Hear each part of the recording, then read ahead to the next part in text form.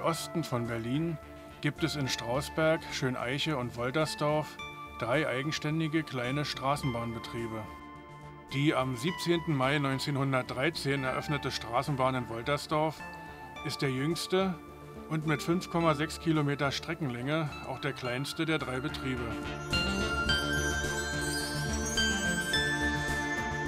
Ohrenstein und Koppel bauten ab 1912 die eingleisige Strecke vom Bahnhof Ransdorf zur Schleuse in Woltersdorf. Ausweichen gibt es an den Endstellen im Berliner Stadtforst und am Thälmannplatz. Im Rahmen des Verkehrsverbundes Berlin-Brandenburg trägt sie heute die Liniennummer 87.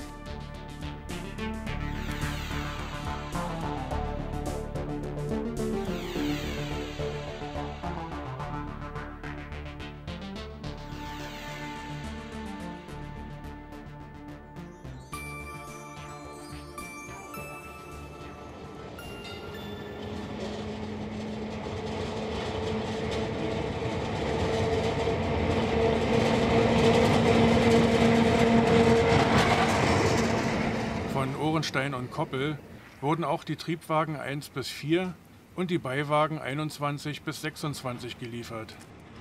Die AEG rüstete sie elektrisch aus. Aus dieser Lieferung stammen der historische Triebwagen 2 und der Beiwagen 24.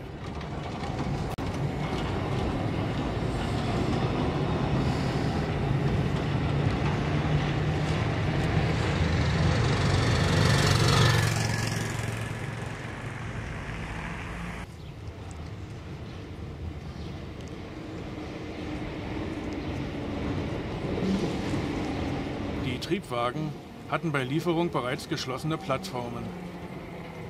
Da die Beiwagen nur für den Ausflugsverkehr im Sommer eingesetzt werden sollten, hatten sie zunächst offene Plattformen. 1997 konnte man sie bei Sonderfahrten an einigen Stellen noch unter Fahrleitungsmasten aus der Gründungszeit der Bahn sehen.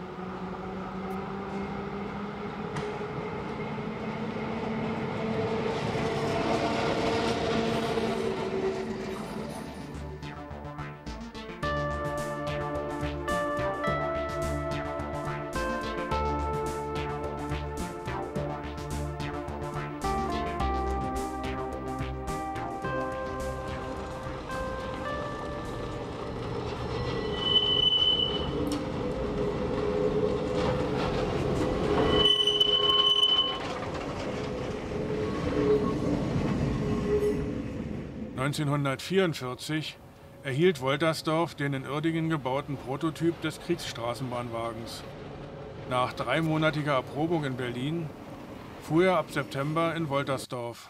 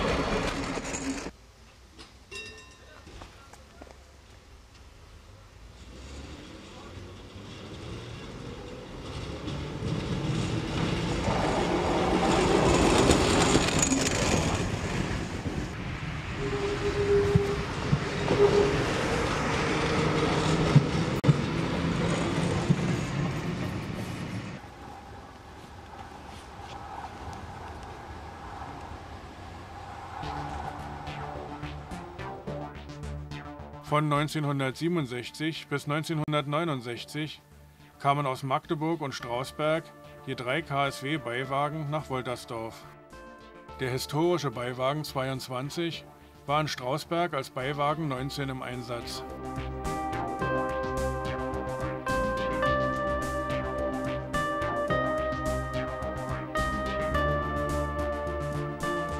Lova Johannisthal und das RAW Schöneweide hatten für die BVG fünf Triebwagen des Typs TF13 25 instand gesetzt.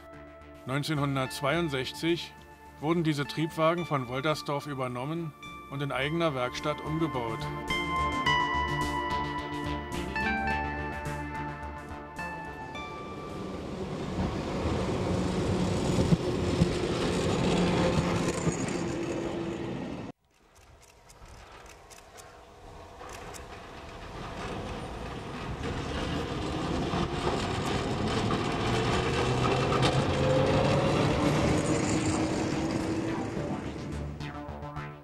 1977 kamen aus Schwerin drei Trieb- und vier Beiwagen des Typs Gotha T57 und B57 sowie ein Reco-Beiwagen nach Woltersdorf.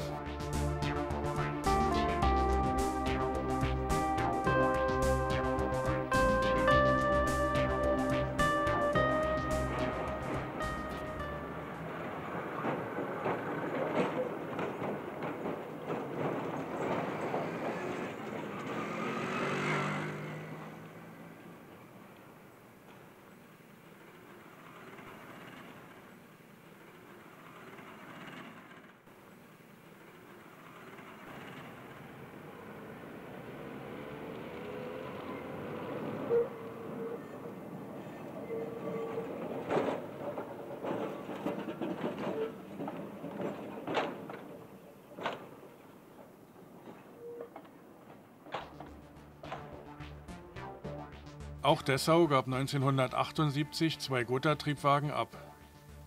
Da keine weiteren Gotha-Triebwagen verfügbar waren, übernahm man 1979 noch einen Reco-Triebwagen aus Berlin.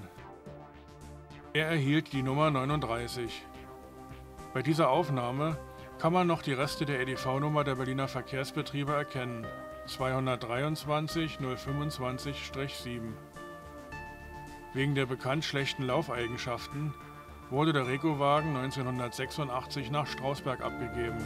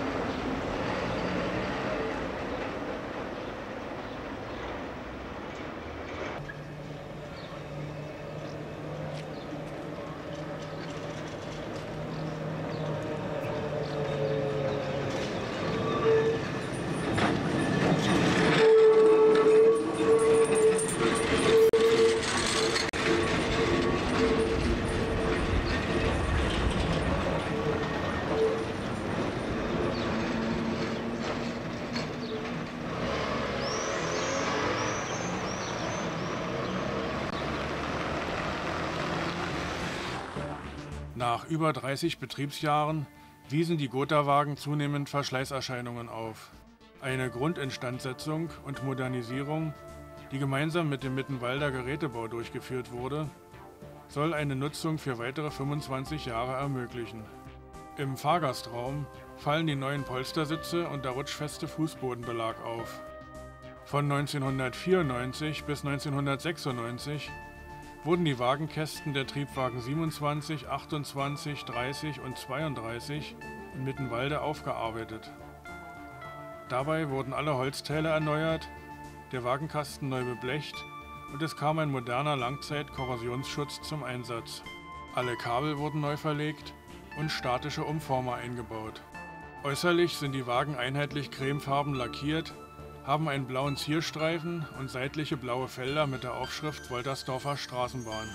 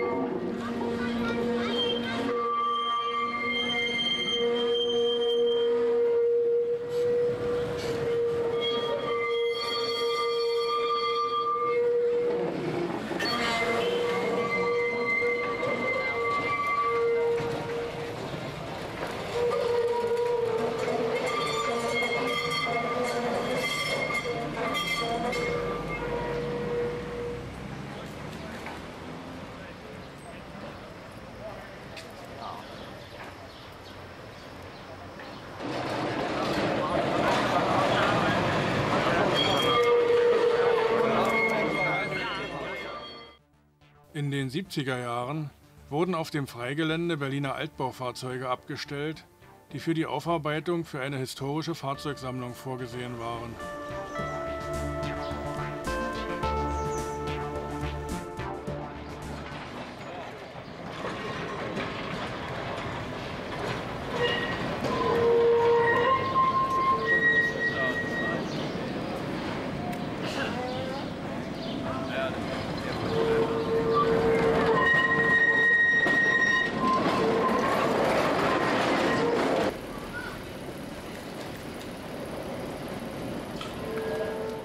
Arbeitstriebwagen 9, der 1974 von den Berliner Verkehrsbetrieben gekommen war, ging 1996 zum Technikmuseum in Prora auf der Insel Rügen.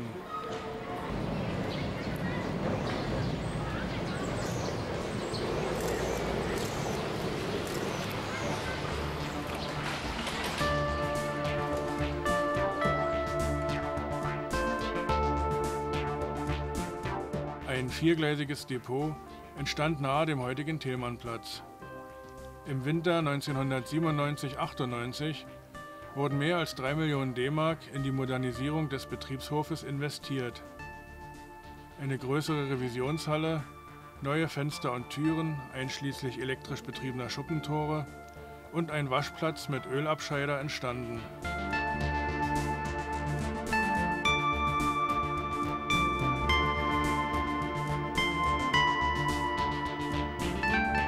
1998 kam doch noch einmal ein Rekowagen nach Woltersdorf. Von der BVG wurde der Arbeitswagen 721 075 übernommen und erhielt die Nummer 19. Er wird meist zusammen mit der Turmlore 17 im Freien abgestellt.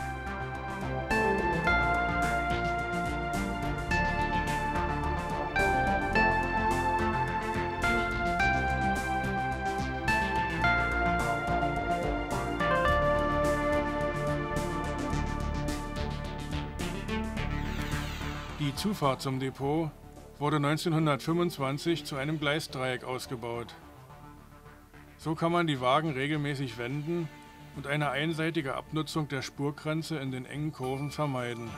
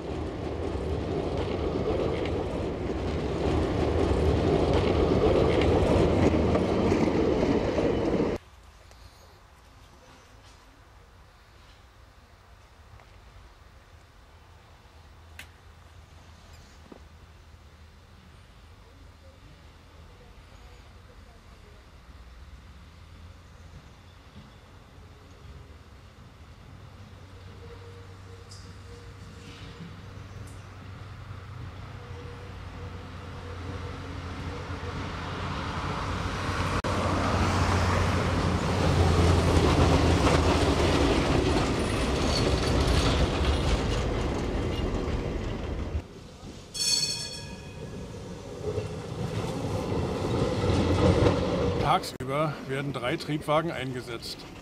Bei größerem Verkehrsaufkommen werden bis Thälmannplatz oder bis zur Schleuse Beiwagen mitgeführt.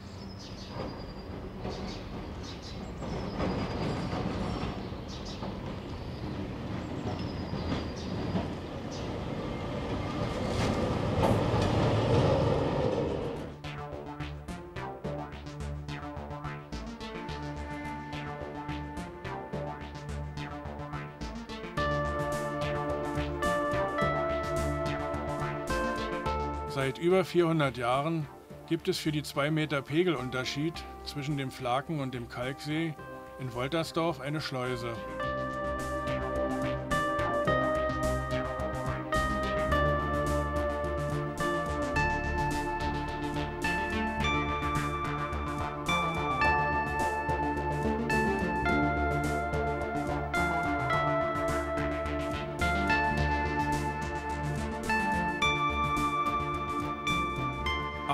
1882 wurde die heutige 67 Meter lange Kammerschleuse in Betrieb genommen. 1928 entstand die erste Klappbrücke.